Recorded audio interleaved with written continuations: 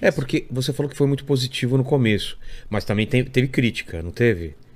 Eu não, não vou dizer que foi 100% positivo no começo, porque eu acho que o, o mais difícil de toda a também. caminhada é dar o primeiro passo. Ah, é? Eu acho. O mais difícil de toda a caminhada, eu acho que é dar o primeiro passo, sabe? Você dá o primeiro passo e permanecer caminhando. Então, acho que essas são as duas dificuldades maiores da, da caminhada, eu acho, assim. Então, dá o primeiro passo, a foi, tal, tentou ali e, e foi continuando com a constância. É sobre dar o primeiro passo e ter constância, continuar, né? Acreditando. E aí, Deus foi agindo. Mas eu quero falar com teu pai, cadê o microfone dele? Tá ligado?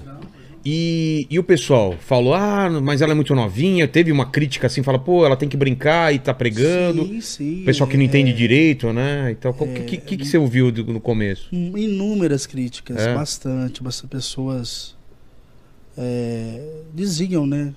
Que eu tirava a infância dela e jogava tudo em cima, né? Entendeu? Essa, essa menina não briga, essa menina não tem, tem um tempo dela e tal. Inúmeras. Mas você brincava, não deixava de Com ter a vida certeza, como de normal, Ah, normal. tá. Até sempre brincou. A gente criança, sempre. A, a Que a palavra pessoa diz achava há o quê? Que ela tempo tudo, pregando 24 né? horas, né? Há tempo pra tudo. Então, assim, a gente sabe que tem tempo pra tudo. Entendeu?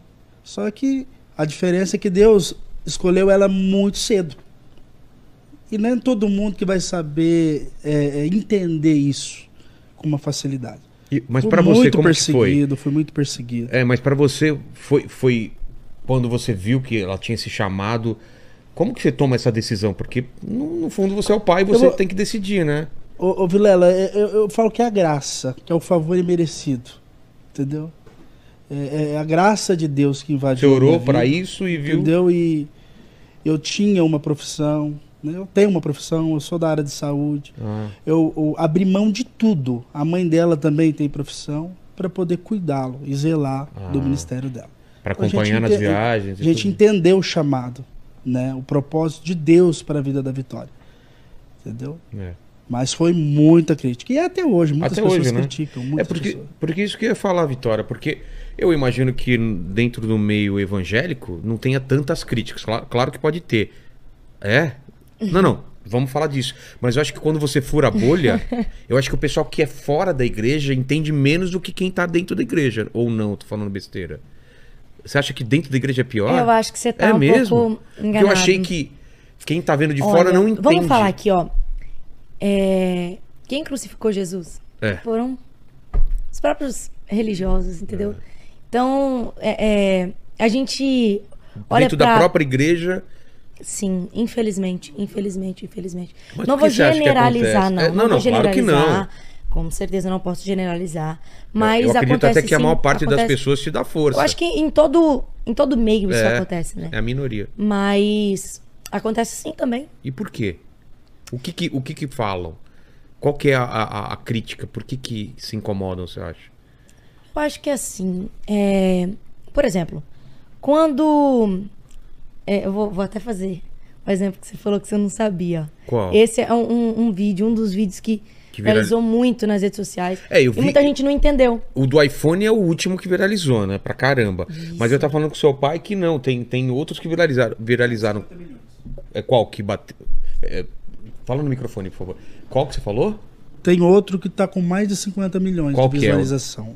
É o da cadeira. Da cadeira. É Mas é o que você vai falar da- agora? Não, é outro. Não, é é um outro. É o- É um outro que também é Deus, né? É Então Deus, é fala Deus. sobre esse. sobre o da cadeira. Não, não, esse que você ia Esse falar como falar. exemplo do que a gente tá falando de crítica Tá, dentro certo. da igreja. Esse exemplo, eu tava numa ministração e eu Tá. tava ministrando sobre Daniel, onde ele se destacou. Por que, que ele se, se destacou? Quando Deus levantou ele para ser um ministro e administrar ali é, a administração dele, a administração governamental, ele começou a se destacar como ministro e os outros dois ministros que estavam junto com ele olhou para ele e falou: "O que que ele tem que eu não tenho? Por que que ele tá se destacando e eu não tô?" E aí eu usei esse exemplo porque ele tinha um espírito de excelência sobre a vida dele e ele se destacava. E aí eu usei o exemplo da luz. Da luz eu peguei um celular e eu, eu fiz assim na cara de uma, de uma mulher que ela tava lá. Se O eu fazer isso aqui na sua cara, Tá. se Que eu que fazer tem? isso aqui na sua cara, O que, que tem? isso vai te incomodar? Claro. Vai te incomodar? Por que, que vai te incomodar? Porque tem uma, uma luz na- diretamente no meu olho. Vai se incomodar, né? Às É. vezes você, você perde até o rumo. É. Por quê? Ah, Porque agora a você luz... tirou, tá as luzinhas piscando na sua Ah. cara. Por quê? Porque a luz, quanto mais forte, mais ela vai incomodar. Quanto mais ela brilha, Claro. mais ela vai incomodar. Então, se tá incomodando, é porque tá brilhando. Se tá incomodando, é porque tem luz. Então, a- a luz, ela só ilumina, ela só incomoda aonde tem trevas. Porque aonde a luz entra, as trevas têm que sair. A luz entrou, irmão. Já era. Então, incomoda. Jesus, ele era a luz. Jesus era luz, então ele incomodava. Então, tem pessoas que não conseguem é, entender o, o- o propósito de Deus na vida de cada uma dessas pessoas.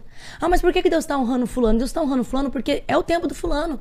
Ah, então Deus não vai me honrar? Deus vai te honrar, mas há um tempo determinado para todas as coisas. Há um tempo determinado. Deus pode honrar sim, Deus pode fazer sim, mas nós precisamos entender que existe um tempo. Existe um tempo de espera da promessa. Eu esperei um tempo. Porque tem gente que olha pra mim pelo fato de eu ser nova e acha que assim, ah, a menina surgiu do nada. É. O vídeo viralizou, tava do nada. Não foi do nada. Não foi do nada. Tanto que vocês acabaram de ver um vídeo meu. Quatro Com anos. quatro aninhos. E você tá com 17. Exatamente. Então, é, é sobre uma história. Deus, ele, ele te prepara. Te prepara pra você viver aquilo. Então, é, é sobre isso, entendeu? As pessoas se incomodam. Se incomodam. Mas Mas isso que você tá falando é dentro da igreja. E fora da igreja, o Acontece. pessoal que não entende. Vê uma menina novinha falando de Deus e pregando. Você acha que isso incomoda por quê? não.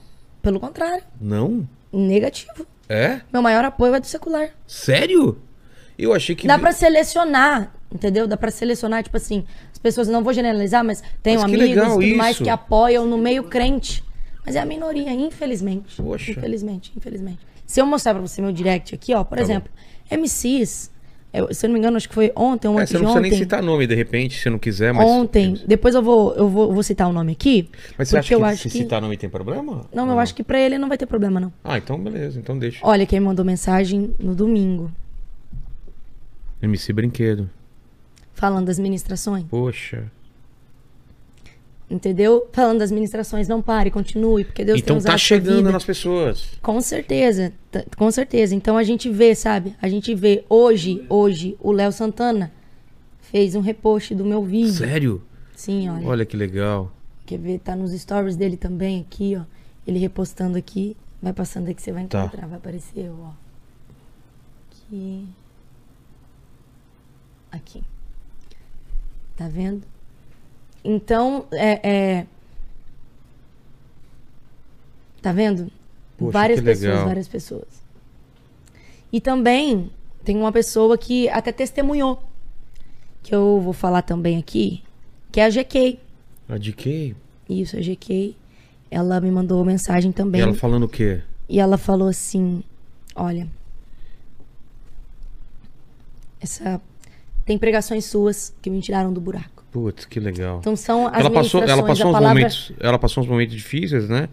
E de repente você, o vídeo seu apareceu pra ela na hora certa. Sim. E você tem essa noção, né? Que Sim. seus vídeos estão sendo compartilhados e tal, e estão sendo Com vistos certeza. por gente que nem, nem sabe, né? Nem sabe quem é Jesus. E eu vou, eu vou nem- falar algo aqui. A palavra do Senhor, ela nunca volta vazia. Nunca volta vazia. A palavra do Senhor não, não volta vazia. Então, graças a Deus, tem muitas vidas sendo alcançadas e o meu foco é esse. Entendeu? Meu foco é esse. Você pregar pra crente, você pregar. É, é, pra crente é fácil. Pra convertido é fácil. convertido é fácil. Ele conhece a Bíblia. Entendeu? Ele conhece. Agora eu quero ver você pregar pra pessoas que não conhecem. Entendeu? Então Deus ele tem levantado, são estratégias que o Senhor tem me dado pra levar a palavra pra fora. Entendeu? E a gente Furar tem a visto bolha, os né? resultados. A gente tem visto os resultados de tudo que Deus tem feito. Tudo que Deus tem feito é tudo pra glória de Deus. O que eu- acho legal é que você faz umas analogias do cotidiano, com o dia a dia das pessoas, né? Sim. Esse vídeo do iPhone que eu achei legal que as pessoas podem, no começo, dar risada e depois elas falam, não, faz sentido, e, e prestar atenção.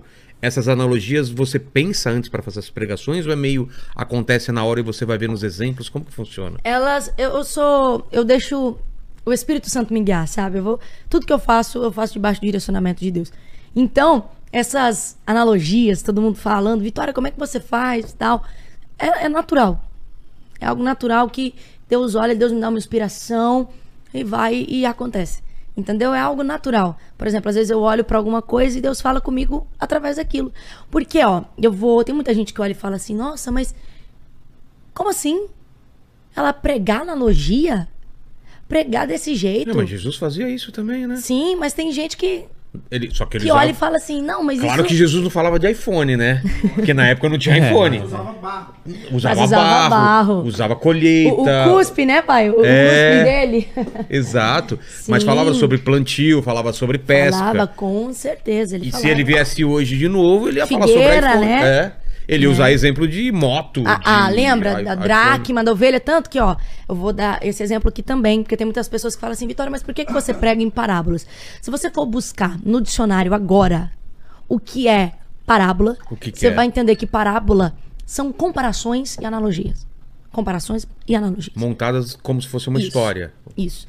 Comparações É. e analogias. Isso é uma parábola. Então, sim, Jesus pregava em analogias. Entendeu?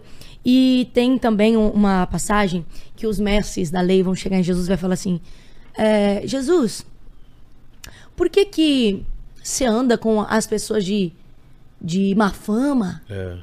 Aí o que, que Jesus vai Cobradores fazer? de impostos, Os prosti- Exatamente. prostitutas. Exatamente. Por quê? Aí Jesus ele vai usar o quê? Analogia. analogia, parábola. Lembra quando ele fala da ovelha perdida? É. Da dracma. Então, Jesus sim, ele usava parábolas. Ele usava parábolas. Então, é as, as analogias que Deus tem dado essas estratégias. Deus tem dado essas estratégias e muitas vidas têm sido alcançadas para a glória de Deus. Muitas vidas. Amém. Porém, tem pessoas que vão falar, que vão criticar, entendeu? Porque assim, Ah, iPhone supor, não tem na Bíblia, iPhone. iPhone né? não tem na Bíblia. Como que você fala de iPhone? Claro que não tem. Herege! Herege. Não tá na teologia! Exato. E, e tem muita Ah, eu gente. acho que- muito legal Tem muita gente que que- fala assim: ah, mas isso não tá na teologia, você deveria pregar teologia, deveria pregar isso. deve Irmão, de verdade, se for pra me falar de hermenêutica, homilética, tanto que eu vou, vou falar um pouquinho de, de teologia, porque eu não fiz teologia, mas meu pai já fez, tá? Até porque eu nunca vi uma menina de 16, 17 anos fazer bacharel, doutorado, né? Nunca vi. É. Mas é, o meu pai, ele sempre me ajudou. E existem três linguagens de pregar: figurativa, literária e alegórica. O que, que é alegoria? É isso? É usar de imagens. Usar de imagens, ilustrações, analogias. A outra, é, então não adianta a pessoa olhar e falar assim, não tá na teologia. Tá. Alegoria. Linguagem de pregar. As três são quais que você falou? A- Figurativa. Figurativa. Né? Literária e alegórica. Então, é, eu, eu falo sobre isso porque tem muitas pessoas que olham e falam assim: o que acontece? Eu, eu tenho as minhas ministrações. Tem muita gente que fala, ah, ela não prega. Ela não prega, ela só usa analogia, só usa exemplos e tudo mais, ela não prega. É, como que é a palavra lá? É? Que as pessoas usam que eu sou? Co- coach. Coach. É coach. Coach gospel, né? Mas a verdade é que, vamos lá, vamos falar de uma Gostei plataforma. coach gospel, né? Muito bom, gostei. Boa, boa. É, é, um exemplo. O, o Instagram, ele é uma plataforma que para você publicar um Reels, você tem aí um minuto e meio, né, para você publicar um Reels. Então, nesse um minuto e meio, eu não consigo publicar uma mensagem de duas horas. É. E você. Então, se você e quiser assistir, e po- você vou falar- prega com certeza. duas horas. Se você quiser assistir, vai lá no meu canal do YouTube que as mensagens vão estar lá completas. Você vai ver as analogias de onde que sai. Sai da palavra. Tem pregação de uma hora, uma hora e meia? Tem, com certeza, com certeza. Caramba. Todos, todos os meus vídeos, todas essas mensagens que vocês vê, as analogias que vocês vê, que vocês acompanham no Instagram, nas redes sociais, são analogias que vêm através de uma palavra. E Ah. essas palavras estão registradas lá no meu canal do YouTube. Tem palavras Rela- lá. A relação com o trecho da Bíblia e tudo mais. É porque tem pessoas assim que elas, elas vê um minuto e meio de vídeo e acham que tem direito de julgar. Entendi. Uma hora e meia, duas horas de mensagens. Entendeu? Então, não, não, assista o, vídeo O completo. do iPhone, por exemplo, é relacionado a qual palavra? Você estava falando O sobre iPhone o eu quê? tava falando, acho que sobre Abraão e Ló, se eu não me engano. Abraão e Ló, por Dá, quê? dá o contexto, então, pra Vou gente. dar o contexto pra desse- vocês depois entender. você faz um trechinho pra gente dessa Certo. que eu acho legal. Vamos lá. Abraão e Ló. A Bíblia fala de Abraão. Abraão enriqueceu. Deus prometeu, fez promessa sobre a vida de Abraão. E aí Deus fala pra ele assim: sai da tua terra, da tua parentela. Porém, Ló era o quê de Abraão? Ló era sobrinho. Então ele levou consigo Ló, o parente, sobrinho. Então quando Ló foi com ele, é, eles vão agora e, e eles começam a crescer, enriquecer e tudo mais. E quando eles começam a enriquecer, pra resumir aqui pra vocês entenderem, tá bom? Que se for pra falar aqui, mas eu quero que vocês vão lá e assistam depois a mensagem completa. Então aí, é, os pastores de Ló começou a ver que os pastores de Abraão e, e estavam ali entrando em contenda e aquela discórdia entre eles ali. Por quê? Porque eles estavam enriquecendo. Ló também estava sendo abençoado, porque, querendo ou não, ele era descendente de Abraão, ele era ali da família de Abraão, e toda a terra dele, toda a família dele seria abençoada. Então, se estava andando com Abraão, Deus iria abençoar. Então, agora Ló está sendo abençoado e os pastores ali estão entrando em contendas. E aí, agora Abraão chega em Ló e fala assim: Ló, é melhor que a gente se separe. Se você for para a direita, eu vou para a esquerda. Se você for para a esquerda, eu vou para a direita. Escolhe. Ele deu oportunidade de escolha. Entendeu? E quando ele deu oportunidade de escolha, obviamente que Ló, ele foi olhar e ele viu as campinas do Jordão. Então, quando ele viu as campinas, poxa, um lugar bonito.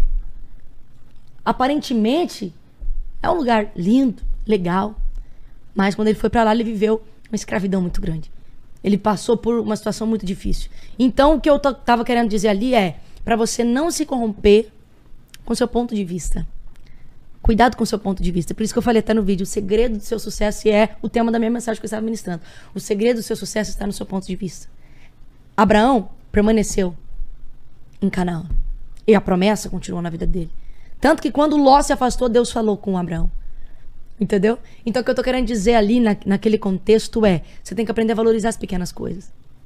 Abraão não precisou sair dali porque ele sabia da origem dele. E porque ele. ele, ele Exatamente o que eu tô querendo dizer do, do, do, do, iPhone. Quem entendeu sabe que não é sobre o iPhone. É claro que não. Não é sobre o iPhone. É. Se eu quero chegar lá no, no, no, iPhone 11, eu vou ter que passar pelo mas processo então, Mas vamos fazer analogia então. Entendeu? Você tá com os dois iPhones aí? Eu tô. Esse é o 14, vai. Esse é o 14, é. ó. Ó, se eu quero chegar.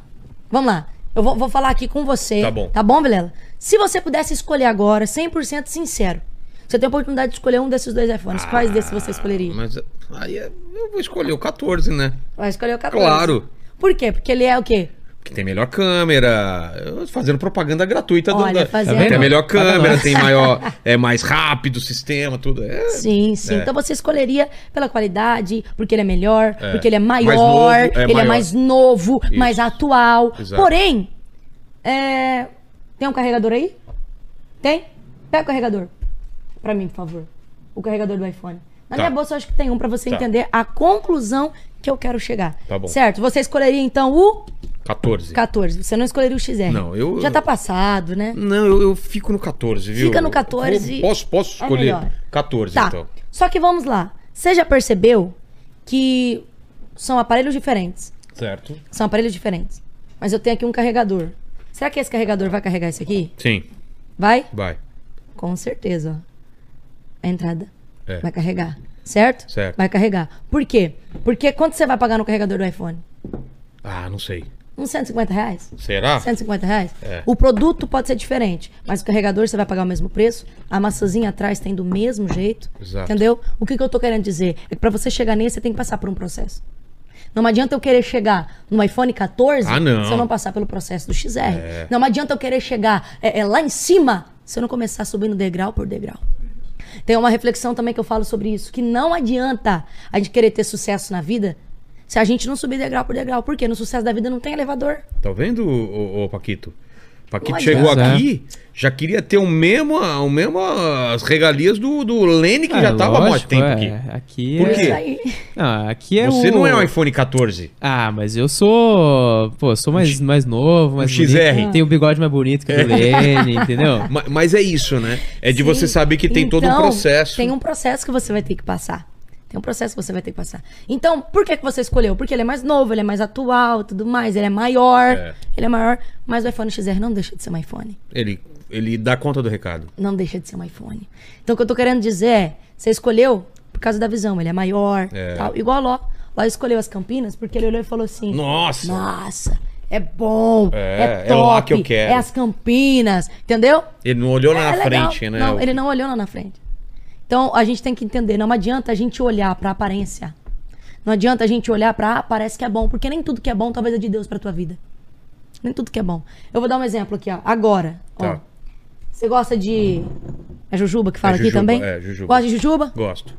Beleza. Eu também, mas é um doce, certo? É. Doce tem o quê? Açúcar. açúcar.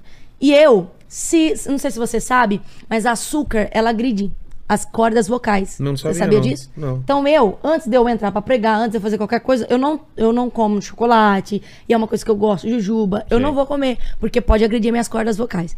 Mas eu não gosto. Gosto. Você gosta da, da jujuba? Claro. Mas se você sabe que vai te agredir, você vai querer? Não. Você não vai querer. Não naquele momento. É isso que Deus está dizendo pra você. Não, talvez, pode você olhar e falar assim: eu gosto, eu quero, eu, eu- ó, é top pra mim. Mas será que vai te fazer bem? será que vai ser bom? Nem tudo que parece ser bom é de Deus para sua vida. Nem tudo. O maior exemplo é Adão e Eva. Adão e Eva, lembra da árvore do conhecimento do bem e do mal? Claro. A árvore do conhecimento do bem e do mal. Não é? E a árvore da vida. Sim, e a árvore da vida. Escolha, escolha. A árvore do conhecimento do bem e do era do bem e do mal, mas era bom para ele? Não. Não era. Não então nem podia. tudo que é do bem é de Deus para sua vida. É isso que a gente tem que entender. É sobre isso. Ah, São escolhas. Mas, Você tem que escolher. Mas eu posso pegar o 14 agora de Pode, volta. pode pegar. Tá, Pode, tá bom, obrigado. pode pegar. Eu achei que ela, eu achei Ó, que ela colocou toda essa ó, conversa pra pegar o meu, o meu Não, ó, 14. só pra concluir aqui. Tá. Quando eu falo sobre o XR, eu não tô querendo dizer que você tem que pegar mais inferior.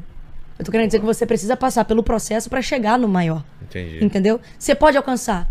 Você pode. Mas pra você chegar lá, você tem que começar pequeno. Uma árvore, ela não nasce de cima pra baixo. Ela cresce de baixo pra cima. Então, se você quer chegar lá, primeiro você tem que começar de baixo. Aí Perfeito. você vai chegar lá em cima. Entendeu? Porque tem muita gente que, ai, mas, mas se, de- se me deu a opção, eu posso escolher um melhor.